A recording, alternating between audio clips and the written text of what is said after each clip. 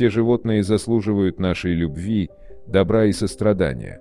Большинство людей могут согласиться с этим без каких-либо вопросов. Тем не менее, в сообщении, которое недавно было загружено, в группу активистов животных «Крепость меха» на Facebook, мы ясно видим, как нежная забота и сострадание могут изменить жизнь страдающего животного, стремящегося жить. И мы должны сказать, что весь путь заставил нас разрыдаться к концу, так что приготовьте свои платочки. Наша история начинается с фотографии собаки, прикованной цепью к металлической решетке и явно забытой ее владельцем. Собака явно не доедает, настолько, что вы можете ясно видеть ее кости.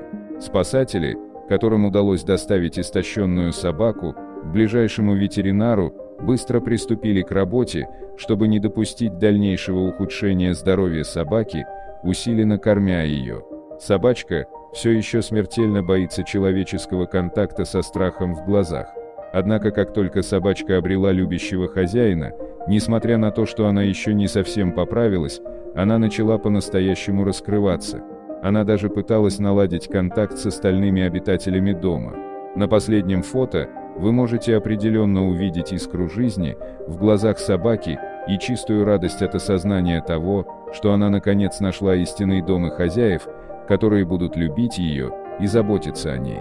В отношении жестокого обращения с животными многие выразили свое негодование. Я так рад, что это было успешное спасение.